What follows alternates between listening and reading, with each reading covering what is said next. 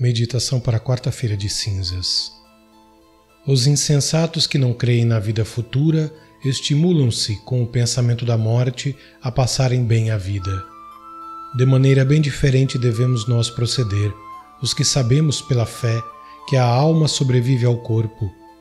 Nós, lembrando-nos de que em breve temos que morrer, devemos cuidar da nossa eternidade e, por meio de oração e penitência, aplacar a justiça divina. É com este intuito que a Igreja, depois de pôr as cinzas sobre a cabeça, nos ordena o jejum da Quaresma. Para compreendermos em toda sua extensão o sentido destas palavras, imaginemos ver uma pessoa que acaba de exalar o último suspiro. Ó oh Deus, a cada um que vê este corpo, inspira nojo e horror. Não passaram bem nem 24 horas depois que aquela pessoa morreu e já o mau cheiro se faz sentir. É preciso abrir as janelas e queimar bastante incenso, a fim de que o fedor não infeccione a casa toda. Os parentes, com pressa, mandam levar o defunto para fora da casa e entregar à terra. Metido que foi o cadáver na sepultura, vai se tornando amarelo e depois preto. Em seguida, aparece em todos os membros uma lanugem branca e repelente, donde sai um pus infecto que corre pela terra e donde se gera uma multidão de vermes. Os ratos vêm também procurar o pasto neste cadáver, roendo-os uns por fora, ao passo que outros entram na boca e nas entranhas. Despegam-se e caem as faces, os lábios, os cabelos.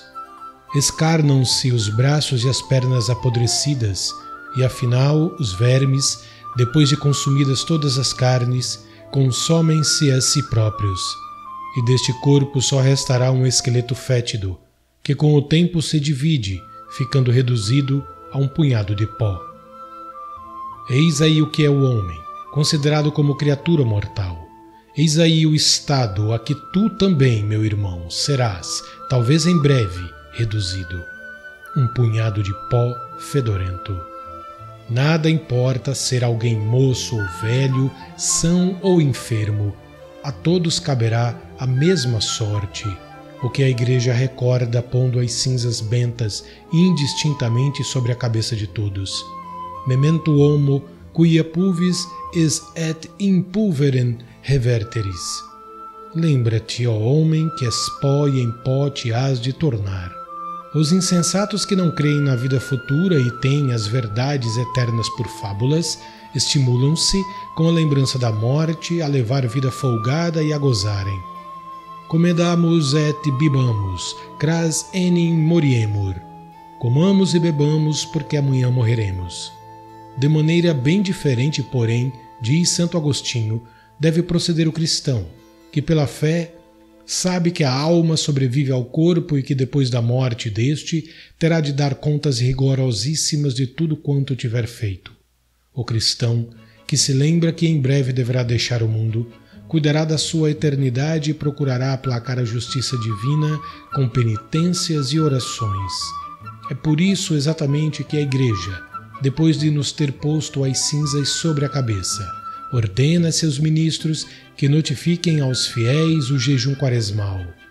Canite tuba in Sion, santificate eiu nium. Fazei soar a trombeta em Sião, santificai o jejum.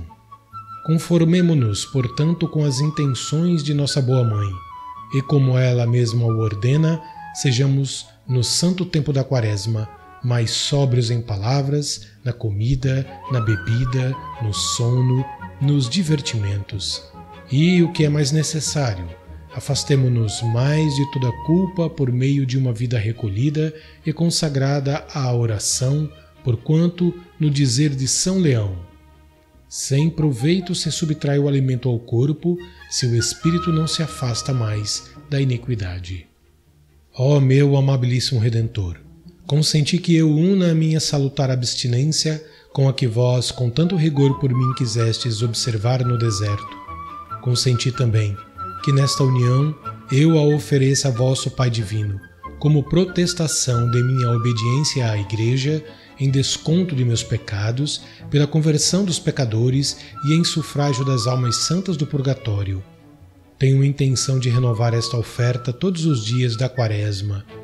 Vós, porém, ó Senhor, concedei-me a graça de começar este solene jejum com devida piedade e de continuá-lo com devoção constante, a fim de que, chegada a Páscoa, depois de ter ressurgido convosco para a vida da graça, seja digno se ressuscitar também para a vida da glória. Fazei-o pelo amor de Maria Santíssima.